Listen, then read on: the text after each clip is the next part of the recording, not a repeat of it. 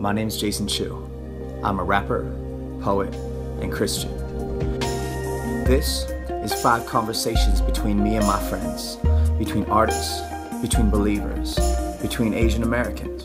It's about what we make, where we come from, and how we live.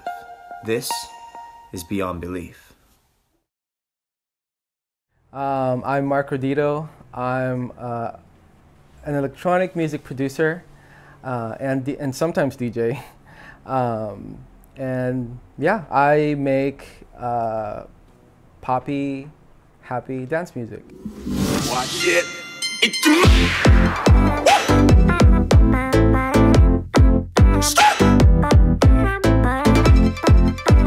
So I'm a rapper, right? I'm a rapper, spoken word artist.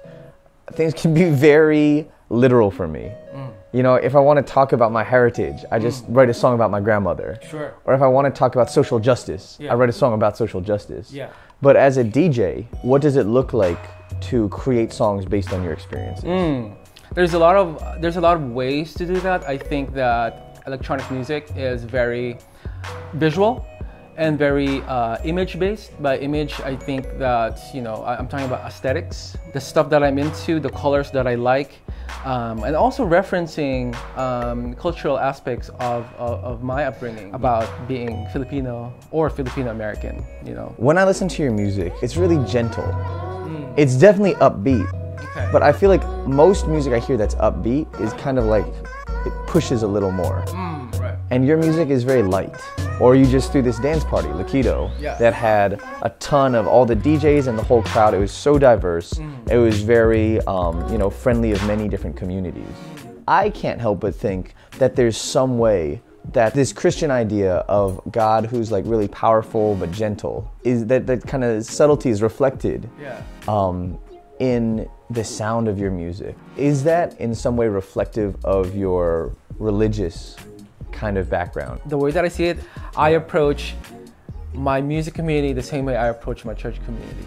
You know, there, there is care, you know, there is love.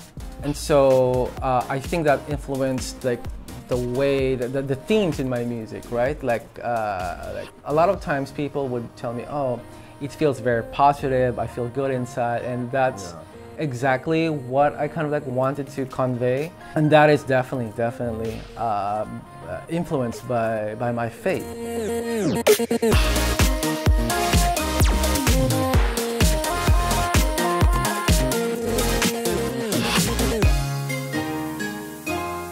Kanye has a line. Um, he says, "Is hip hop just a euphemism for a new religion?"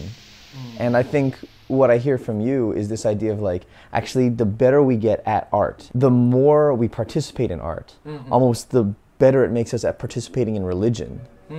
Um, and then vice versa. Those principles of care. Right, right, um, that that we learn from religion can make us stronger artists. Oh, absolutely. I don't know if I would ever be comfortable with the word religion, but And that's why I say yeah. specifically the word Yeah. religion, because I think for a lot of Christians, Uh-huh. we like to avoid the word religion Right. by calling it a faith. But Right, right. if you say, you know what, uh, I'm religious, Hmm. then it becomes a point of almost tension, right? And it's like, Yeah, yeah. oh man, that's crazy, you know, but because Yeah, you're, you're a DJ or you're a rapper, so like, you're at the bar, you're at the club, you're at the venue, yeah, yeah. but you also go to church, like, how does that work out? I mean, even for myself, like telling everybody that, uh, you know, I, I believe in God, that, that I'm a Christian, uh, puts me in a vul- vulnerable position to be judged. You know, like Yeah. like people's understanding of Christianity it should be this way. I mean, th- in my own experience, not a lot of people talk about like what they believe in, or, or if they ever go to church. The assumption is you don't go to church. You know, if you're somebody who's in, in my circles, you know, in, in music, because like.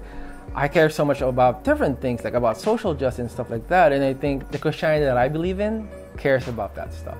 You know, cares about uh, women, cares about queer people, cares about uh, people of color. You know, and I think that's the whole cen- central thing in, in what I do. You know, being an artist, like it's coming out of love. Building community, it's coming out of love. Uh, going to church, believing in, in this being that that loves everybody. You know, so, so I think in some circles they call uh, a dance party church. I believe that church is um, is for everybody, you know, and it's like that is, that is a very accurate way of, of, of, of describing what's happening. You know, like we're all in the same room, you know, we're, we're all kind of interacting with each other. We are all dancing, you know, in community.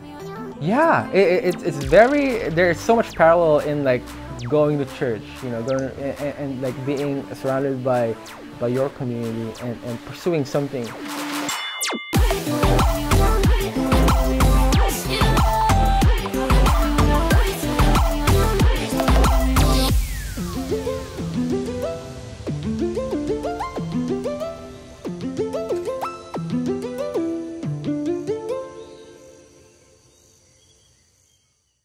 NBC News fans, thanks for checking out our YouTube channel. Subscribe by clicking on that button down here and click on any of the videos over here to watch the latest interviews, show highlights, and digital exclusives.